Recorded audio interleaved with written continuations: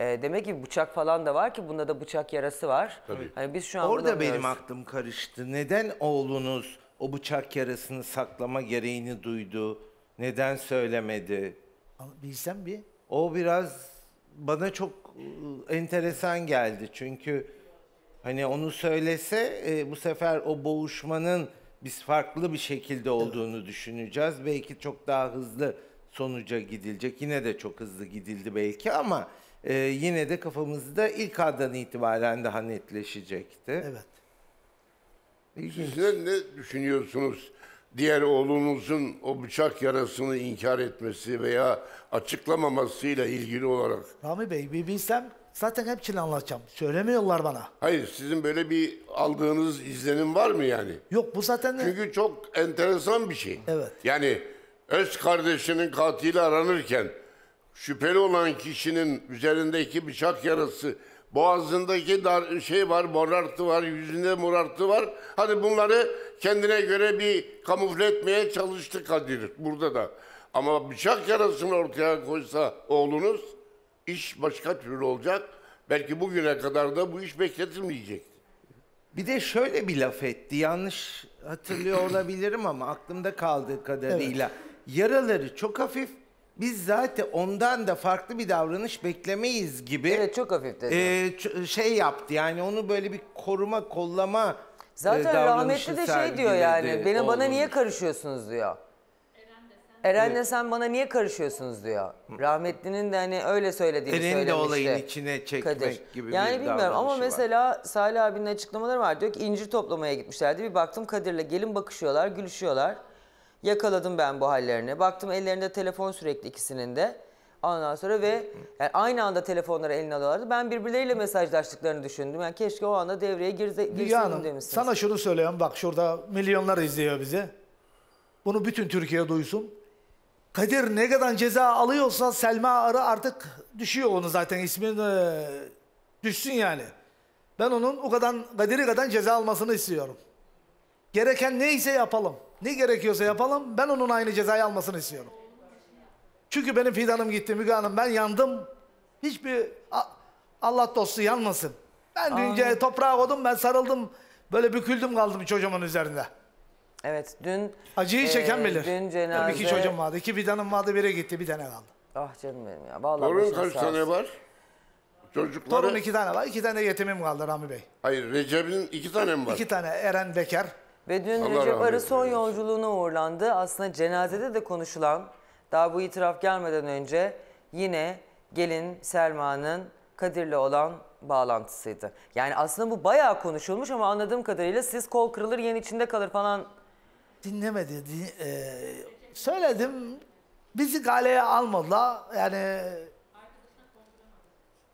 onun için e, çok sıkıntı yaptılar yani. Dedim bu çocuğu eve sokma. İstemiyorum ben. Ben kabul etmiyorum. Sokma eve dedim. Sokma dediysem de en son başımıza bu geldi yani. Ama Selma Arı'nın Kadir Ilgaz'ın aldığı ceza kadar ceza almak istiyor. Çok haklısınız. Adalet yerini bulsun. Çok haklısınız. İnşallah ce- bulacaksın izleyelim. o konuda daha. Çünkü iki tane benim... Henüz 31 yaşındaydı Recep Arı.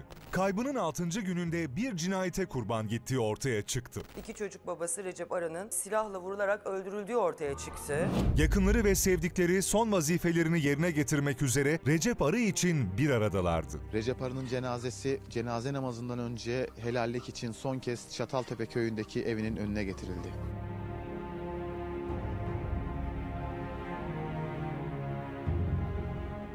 Rabbim inşallah bu kardeşimizi iman ve Kur'an ile huzuruna varan kullarından eylesin.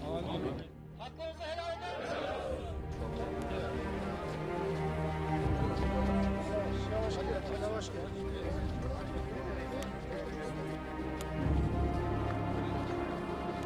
Cenazeye katılım oldukça yüksek. Neredeyse tüm köylüler burada. Çevre köylerden de katılım var ve cenaze defnedilmek üzere Çataltepe köy mezarlığına sevenlerinin omuzlarında götürülüyor.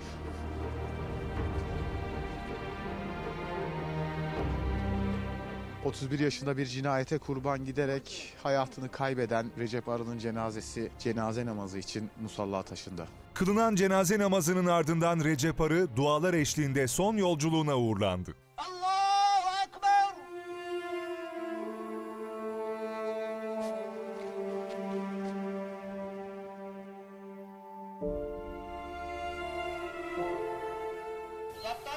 Allah'tan bu duaya katıp amin diyen bütün kardeşlerimizin ve bizlerin de bütün yakınların dualarını hediye edip vasıl eyle ya Rabbel Alemin. Recep Arı'nın yaşadığı köyün sakinlerinin ortak temennisi tez zamanda cinayetin aydınlanmasıydı. İyi bir arkadaştı, iyi bir dost, iyi bir çocuktu. Böyle bir ölümü hak etmedi çocuk ya. Özürlü kimler yapsa cezasını çeksin. Gencecik gitti yani. Çok üzülüyoruz. Yani bir an önce kimler yapsa bulsun herkes cezasını çeksin yani. Herkes iyilik yapar. Cömert bir insandı. En kısa zamanda aydınlanması, adaletin yerini bulmasını isteriz. Müge Hanım'da istediğimiz budur. Bir civanı kaybettik. Ben yeğenime zamanında dedim oğlum ayrıl. Dayı ben ayrılıyorum o ayrılmıyor. Gidiyor annesiyle geri geliyor. Evin içini bir görseniz pislik yuvası. Çocuk neden kendisini alkola vurdu bir yılın içinde? Bunu hiç araştırmıyorlar. Recep'i suçlu gördüler. Müge Hanım'la tek istediğim Selma gelinimiz. O şahıs. Onun arkasında çok sırlar var o kızın arkasında. Tutuklanan çocuk da tek değil. Tek yapmadı. Başkaları da var arkasında. Çünkü Recep'i tek yiyemezler. Recep'i tuzağa düşürdüler. Oğluna, küçük oğluna, 5 yaşındaki oğluna babanızın ölüsü gelecek demek ne demek? Annesi söylüyor. İspatı da var. Niye devamlı hep babası gile giden kız? Niye bir anda sığınma evine sığındı bir gün sonra? Müge Hanım'la bunu istiyorum ben. İşin içinde başkaları da var. Müge Hanım'ın ellerinden öpüyorum. Valla konuşamıyorum.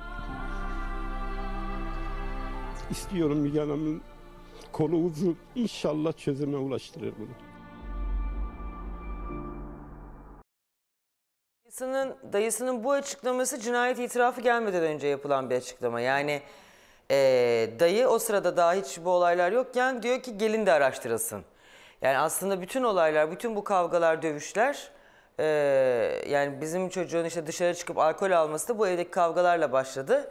Aslında hani dayı bile orada diyor ki bu Kadir eve girdikten sonra her şey oldu demeye getiriyor. Öyle mi oldu? Bilmiyorum abi. Tabii Evet. sen uzaktasın ama ne kadar uzaktasın sen de? Ya köyden iki, iki buçuk kilometre. Şimdi benim hayvanım dışarıda kimse yok. Ee, Gidiyorum geliyorum. Yemek almaya geliyorum. Veya çarşıya gidecek işim oluyor. Bu şekil geliyorum. Çok uzak değilsin yani Yok, başka değil. bir ilçe ya da başka Ama bir sürekli de yani köyde oturan bir insan değilim yani. Ama artık e, bu ya- zamana kadar da taşın da nereden geleceğini biliriz. Ben farkındayım. Farkındayım. İşte bazı şeyler olmaz derken aslında ben hep onu anlatmaya çalışıyorum. Bazı şeyler var işte olmuyor. Yani bu herkes için yüzde yüz böyledir demek değil ama